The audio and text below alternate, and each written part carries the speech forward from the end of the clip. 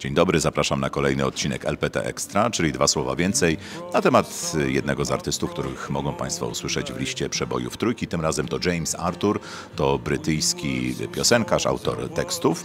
Zasłynął tym, że wygrał dziewiątą edycję brytyjskiego X Factora, to było w 2012 roku.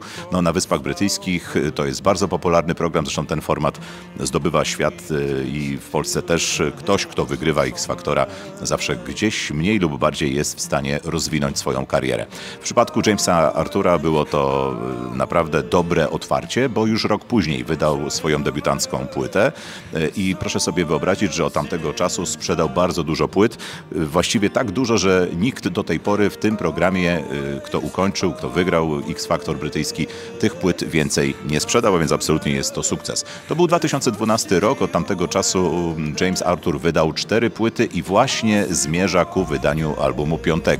Wiemy, że 26 ma ukazać się jego album zatytułowany Bittersweet Love, a więc słodko-gorzka miłość. Wiadomo, że na tej płycie znajdzie się 16 utworów i wiadomo, że jednym z utworów, który zapowiada nadejście tego albumu jest Sleepwalking. Sleepwalking wśród propozycji listy przebojów trójki być może się Państwu spodoba i zechcą Państwo na tę piosenkę zagłosować.